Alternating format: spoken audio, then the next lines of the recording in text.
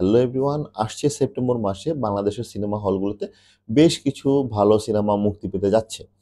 কি কি সিনেমা মুক্তি পেতে যাচ্ছে এই সেপ্টেম্বরে তাই আজকে আমরা জানব। প্রথমেই বলে রাখি, অগাস্ট মাসটা হচ্ছে বাংলাদেশের জন্য শোকের মাস। তো সেই সময় নতুন কোনো মুভি মুক্তি পাবে না বাংলাদেশের সিনেমা হলগুলোতে। কিন্তু পরবর্তীতে সেপ্টেম্বরে একই সাথে অথবা এক সপ্তাহ গ্যাপে গ্যাপে বেশ কিছু সিনেমা মুক্তি পাবে। কি কি মুক্তি পাবে? প্রথমেই রয়েছে সেটা শাকিব খানের দরদ সিনেমাটি ইয়েস শাকিব খানের বহু প্রতীক্ষিত দরদ সিনেমাটি যা পরিচালনা করেছে অনন্য মামুন এবং অনন্য মামুন বেশ কয়েক বছর ধরেই এই মুভির প্রচারণা চালিয়ে যাচ্ছে সোশ্যাল মিডিয়াতে হাইপ তুলে রেখেছে। এই ছবিতে শাকিব খানের বিপরীতে অভিনয় করেছে হচ্ছে বলিউডের নায়িকা। এছাড়াও এই ছবিতে শাকিব খানের অলরেডি আমরা টিজার থেকে দেখেছি অনেকগুলো লুকসে দেখা যাচ্ছে এবং আসলে গল্পটা কি বোঝা যাচ্ছে না বাট প্রমিজিং লেগেছে। শাকিব খানের বিভিন্ন আট, নয়টা ডিফারেন্ট ডিফারেন্ট লুকসে বেশ প্রমিজিং লেগেছে।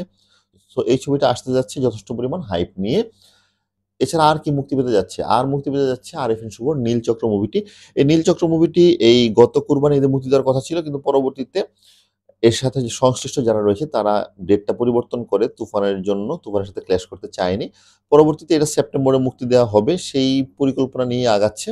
সো এই নীলচক্র মুভিটাও কিন্তু বেশ প্রমিজিং এই নীলচক্র মুভির গল্পের প্লটটা হচ্ছে নারীর র্যাকেট একটা নারীদেরকে যারা হত্যা করে, এরকম একটা সাইকো কিলারকে নিয়ে, যারা নারীদেরকে নিয়ে ভিডিও তৈরি করে ব্ল্যাকমেল করে, এরকম একটা সিন্ডিকেটের গল্প নিয়ে তৈরি করা হচ্ছে নীলচক্র। নীলচক্রে কিন্তু স্পেশাল ব্যাপার হচ্ছে, এই মুভিতে এন্টি হিরো হচ্ছে বালাম, বাংলাদেশের বিখ্যাত সিঙ্গার বালাম। সে হচ্ছে এই মুভির এন্টি হিরো এছাড়াও এখানে রয়েছে মন্দিরা চক্রবর্তী। মন্দিরা চক্রবর্তী হালের সেন্সেশন বাংলা সিনেমা একটা করে বেশ যথেষ্ট পরিমাণ মানুষের দৃষ্টি আকর্ষণ করতে পেরেছে তার লুকস দিয়ে, তার অ্যাপিয়ারেন্স দিয়ে, তার অভিনয় দিয়ে। এছাড়া আর কি মুক্তি পাবে? এছাড়া মুক্তি পাবে সিয়াম আহমেদের জঙ্গলি সিনেমাটি তো সিয়াম আহমেদের জঙ্গলি সিনেমাটিও কিন্তু অনেক মানে প্রতীক্ষিত একটা সিনেমা সোশ্যাল মিডিয়াতে অনেকেই কথা বলছে এবং সোশ্যাল মিডিয়াতে সিয়ামের এই জঙ্গলিতে তার যে লুকস তৈরি করেছে সেই লুকস নিয়ে যথেষ্ট পরিমাণ প্রশংসা হয়েছে কথা হয়েছে। সো যদিও যদিও অনেকে বলেছে যে এটা লুকসটা অনেকটা আল্লু আহ, পুষ্পা সিনেমা থেকে ইন্সপায়ার্ড হওয়া বাট অ্যাকচুয়ালি ছবির গল্প কি, ছবির মেকিং কেমন হয় এবং আলটিমেটলি সিয়াম কেমন অভিনয় করে তা দেখা যাবে। জঙ্গলি সিনেমা মুক্তি পেলেই। বাট এটা একটা ভালো দিক, সিয়াম আহমেদ তার যে প্রথাগত চকলেট বয় লুকস সেই লুকস থেকে বের হয়ে একটু ডিফারেন্ট কিছু ট্রাই করছে। সো জঙ্গলি সিনেমার এখন পর্যন্ত যেসব লুকস যেসব অনসেট ইমেজ এবং যেসব অফিসিয়াল ইমেজ পাওয়া গিয়েছে, সবগুলো দেখে যথেষ্ট পরিমাণ প্রমিজিং লাগছে। সিয়ামের বিপরীতে, সিয়ামের সাথে নায়িকা হিসেবে জঙ্গলিতে রয়েছে বুবলি।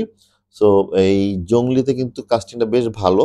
ফজলুর রহমান বাবু রয়েছে, তারপরে হচ্ছে শিবু রয়েছে এবং বেশ ভালো কাস্টিং দেখা যাচ্ছে, এক এক করে রিভিল হচ্ছে। সো জঙ্গলিটা যথেষ্ট পরিমাণ আশা জাগাচ্ছে। সো এই তিনটা মুভি মোটামুটি সেপ্টেম্বরে আসতে যাচ্ছে, কিন্তু সেপ্টেম্বরেও তাহলে কি সবগুলো ভালো ভালো মুভির একসাথে ক্ল্যাশ হয়ে যাচ্ছে? হয়ে যাচ্ছে বাট যদি বুদ্ধিমান হয়, অবশ্যই তারা এক সপ্তাহ বা দশ দিনের গ্যাপে গ্যাপে ফ্রাইডেতে বা থার্সডেতে করে রিলিজ দিবে এই মুভিগুলো সো একসাথে যে একটা মাসে যে ভালো ভালো ছবির ক্ল্যাশ হচ্ছে, এটা কিন্তু বাংলাদেশের বিনোদন জগতের জন্য সুখবর বিকজ ভালো ভালো মুভি আসছে, তারা ক্ল্যাশ করছে, তারা ফাইট করছে, তারা মার্কেটটা নেওয়ার জন্য চেষ্টা করছে, এটা একটা ভালো দিক এবং প্রতিযোগিতা থাকা মানে ভালো কন্টেন্ট কিন্তু অনেক হওয়া। মানে যদি আজকে ভালো কন্টেন্ট অনেক না হতো, তাহলে কিন্তু আসলে কম্পিটিশনটা হতো না। একটা মুভি আসতো মুক্তি পেয়ে ব্যবসা করে চলে যেত। সো এই কম্পিটিশনটা ভালো, বাংলাদেশের বিনোদন জগতের জন্য ভালো এবং এই যে ছবি মুক্তি পাওয়ার যে সময়গুলো আস্তে আস্তে স্প্রেড হয়ে যাক প্রতি মাসেই ভালো ভালো দিনে, ভালো ভালো দিবসে ভালো ভালো সিনেমা মুক্তি পাক, তবেই বাংলাদেশের সিনেমা এগিয়ে যাবে। থ্যাংক ইউ এভরিওয়ান আমার এপিসোড যদি ভালো লেগে থাকে আরও নতুন খবর পাওয়ার জন্য অবশ্যই আমার চ্যানেলটিকে সাবস্ক্রাইব বাটনটি প্রেস করে রাখবেন, তবেই আপনার কাছে পৌঁছে যাবে সবার আগে আমার নিউজ থ্যাংক ইউ